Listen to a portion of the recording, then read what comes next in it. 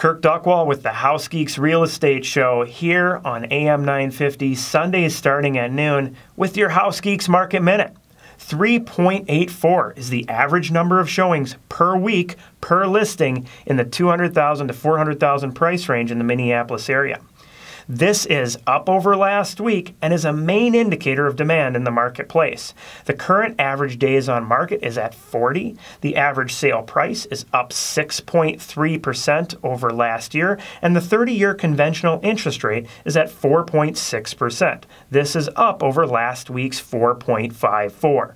The conclusion for buyers get out there quick. Competition is picking up as predicted, and rates are on the rise. For sellers, are you ready for the fall market yet? Because it's starting. Looking at buying or selling a home in the Twin Cities? Check us out online at housegeeks.com.